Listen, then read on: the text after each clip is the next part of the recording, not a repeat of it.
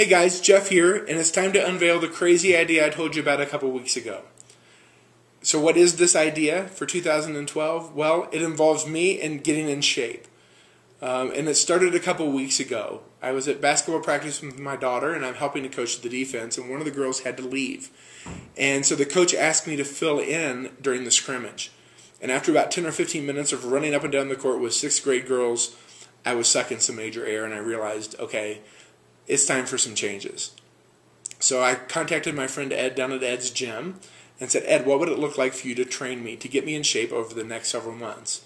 We brainstormed and came up with this crazy idea of me getting in shape and sharing it with you through social media, through blogging, through Facebook, through Twitter. Um, we're going to be sharing this journey that I'm about to take for 2012.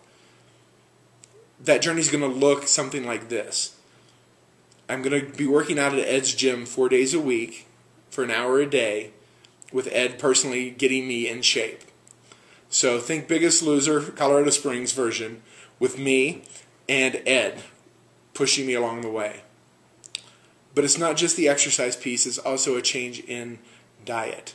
Uh, nutrition is something that Ed is really, really focused on. And if you know me, it's, you know it's something that I'm probably not all that focused on. Um, if you follow me on Facebook and Twitter, you see the pictures of the food I eat. And if you've been to our house, especially during football season, you know the deep fryer is one of the essential tools in our kitchen. So it's time for some changes in that area as well. Uh, we're going to be kicking it off January 9th with a whole 30 diet. Uh, basically, for 30 days, we're going to be eating fruits, vegetables, some meat, but we're cutting out all carbs and dairy for 30 days. And Julie's going to be joining me on this um, because it's going to change how she cooks and how we eat as a family. So that's part of the plan. It's basically to reset um, our diet, our bodies, and to restore a healthy metabolism, get it a jump started, and then we'll be shifting our diet after the 30 days to be a more consistent, healthy diet, focus on our, my workout strategy at that point. Uh, the goal, and this is where the crazy part comes in, is to get back into the shape I was when Julie and I got married 17 years ago. At the time, I was pretty healthy, uh, weighed under 200 pounds, and right now I'm topping the scale between 260 and 265. So the goal is going to be for me to lose between 60 and 70 pounds to get under that 200 mark and be able to maintain that consistently. Um, also, along the way, just losing weight isn't isn't the only goal. It's that healthy lifestyle and it's an active lifestyle. So we're going to be doing some events along the way um, to to measure my progress. So you can look forward to the spring hearing about maybe a 5K. We may be doing some adventure racing. We may do a half marathon uh, this year, and our ultimate goal is going to be this.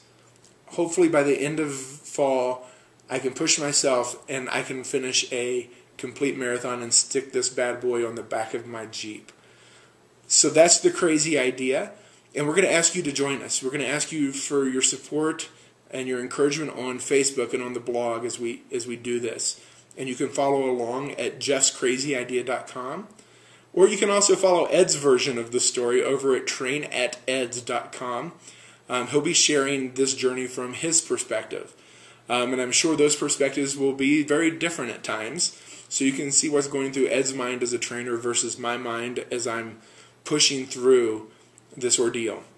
Um, there's also, you can join me, um, whether that be, you know, here in Colorado Springs, or if you're here and you want to go work out at Ed's with me, or if you want to do your own thing online, I encourage you to find out what it means for you to be healthy, and whether that be diet, whether that be exercise, a combination of both figure out what that looks like for you for 2012 and join me on this journey as well. And then sharing the story. We would love for you to join in social media and sharing this story with others in your lives who may need to hear it. I know for Julie, telling me I needed to get healthy wasn't always the most successful strategy for her, but being able to show me other people's stories helped me get motivated. So hopefully my story helps motivate you or your family and friends that need to make some lifestyle changes as far as the health is considered. So for us, the goal is going to be threefold.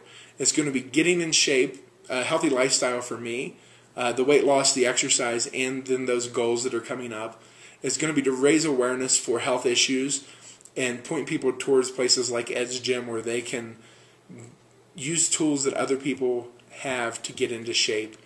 And it's going to be to raise some funds for charity along the way as well as we participate in the 5K and adventure racing or the marathon or whatever it is we end up doing.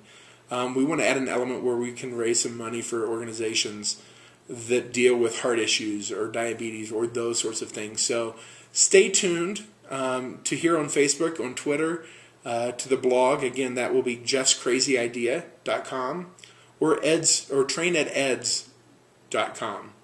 And you can follow the journey. And we encourage you to comment and participate in the conversation that's happening around there. Help us to get through this. Thanks for your support. I know uh, you guys are going to mean a lot to me as I push through this. And Merry Christmas. Hope you guys have a great new year. Thanks.